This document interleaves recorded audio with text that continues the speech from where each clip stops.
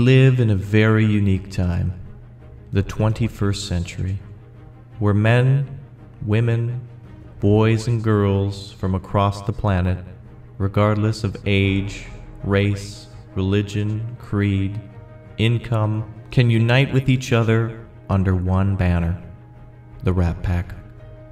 Created for those who are interested in upping their game or interacting with others from any unique part of the world, it is something to be proud of.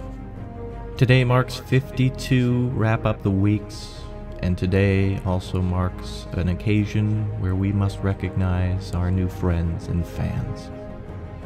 Sometimes I forget